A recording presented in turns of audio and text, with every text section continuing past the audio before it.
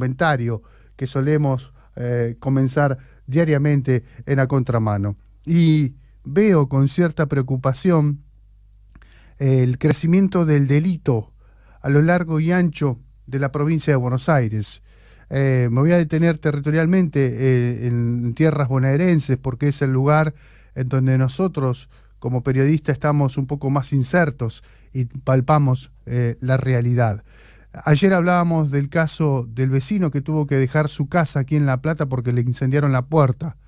Bueno, y el llamado de distintos platenses al 911 sin que nadie apareciera y la omisión por parte de las autoridades de esta situación en particular.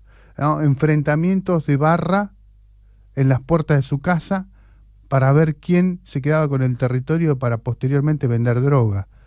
¿Eh? y nadie, pero nadie advirtió que este vecino, harto de las denuncias, después de haber sido atacado en su propio domicilio porque le prendieron fuego la puerta, se tuvo que ir, agarrar sus cosas e irse, e irse de su casa abandonar su domicilio. Hoy veo también, escucho, leo, interpreto declaraciones del ministro de Seguridad de la provincia, Sergio Berni, quien dice que el delito va a crecer porque la situación económica y social es igual o peor que el 2001.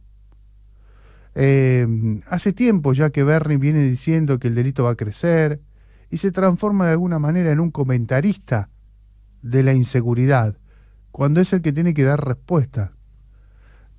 Me quiero detener en un hecho en particular que terminó con la renuncia del jefe de gabinete del Ministerio de Seguridad, el señor Baudry, Mario Baudry, ex dueño de el monopolio em, Cadena Río y La Tecla. Por estos manejos, él y 40 personas más fueron a ocupar el gabinete del Ministerio de Seguridad. Hasta la exnovia de Diego Maradona, actual pareja de Mario Baudry, tenía un contrato de 140 mil pesos, eh, de los cuales todos le pagábamos para vaya, vaya a saber qué cosa. Bueno, finalmente no está más. Manejos como estos hacen, implican, redundan en la mala política de seguridad en la provincia de Buenos Aires. Y las propias palabras de Berni, ¿la tenemos? Vamos a escucharla. Si bien hoy estamos un 20-25% de acuerdo a los delitos por debajo de los niveles medios anuales, eh, sabemos que esos niveles se van a recuperar rápidamente, pero además no solamente se van a recuperar, sino que se van a empeorar porque estamos ante una crisis económica y social tan profunda o más para algunos especialistas que en 2001. Bueno, ahí está, ¿eh? la palabra del ministro de Seguridad Sergio Berni, comportándose como un relator, casi como un analista de la inseguridad en eh, la provincia de Buenos Aires. Va a crecer el delito porque la situación económica y social es igual o peor que el 2001. Esto es lo que de alguna u otra manera a uno le llama poderosamente la atención al eh, cuestionar, al señalar que el propio ministro de Seguridad se transforme más en un comentarista que en una especie de dirigente político quien tiene que dar respuesta y dar soluciones. Aparejado a esto, vemos que en distintos distritos de la provincia de Buenos Aires se exhiben pasacalles. Se exhiben pasacalles con algunas inscripciones. ¿Se acuerdan que antes los pasacalles estaban como para desearle el cumpleaños a la chica de 15 o para desearle, eh, pedirle disculpas a la gorda?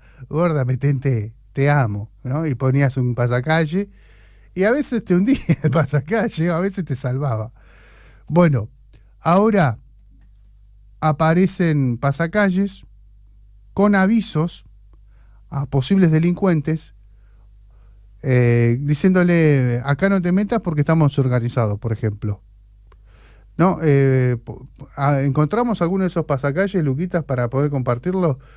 eh, no, los puedo no los puedo ver de aquí, pero este, bueno, hay pasacalles que nos dan cuenta que hay un cierto abandono del Estado. Porque cuando los vecinos deciden, toman la determinación de colocar un pasacalle de esta manera, es porque no cuentan con la policía. Cuando deciden organizarse, es porque se sienten desamparados. Cuando gastan fortuna comprando una alarma para poner en la cuadra, es porque se sienten desamparados, porque se sienten solos, porque sienten que la policía, que es la fuerza que los tiene que cuidar, no lo está haciendo. Y este tipo de cartelería, este tipo de, pasacalles, están circulando con lo peor, la determinación de hacer justicia por mano propia. Y aquí ya entramos en una situación realmente preocupante. Em, no, no, me quiero, no quiero dejar de lado el tema del COVID-19 y la pandemia y los números que son realmente alarmantes, pero en esto, de la pospandemia, ya tenemos que advertir como medio de comunicación el problema que se nos viene. Que lo está diciendo el propio ministro de Seguridad, el delito va a crecer. Bueno, hermano, ¿qué tenemos que hacer? Si el delito va a crecer porque la situación económica y social eh, es peor, igual que el 2001, reunite con el ministro de Justicia, con el ministro de Desarrollo Social, con el ministro de Trabajo y generar una política integral para tratar de evitar que estos delitos crezcan, como lo estás advirtiendo. Esto es lo que realmente uno de los temas por los cuales desde ayer que vengo insistiendo, parece que estoy como obsesionado con el tema de la inseguridad, pero es realmente lo que me preocupa. En la ciudad de La Plata es invivible el tema. ¿eh? Es, eh, está muy complicada la situación. Otra de las cosas que está en agenda es la reforma judicial. Eh, los grandes medios de comunicación tomaron una posición en contra de la reforma y, y, fíjense al punto tal el título de Clarín del día de hoy, ¿no? donde es literalmente una mentira el título, ¿no? responsabilizándola a eh, Graciela Camaño de eh, trabajar junto al gobierno para garantizar la impunidad cristina. Fíjense el disparate con el cual titula Clarín en el día de hoy. Bueno, así estamos, ¿eh? en, esta situación.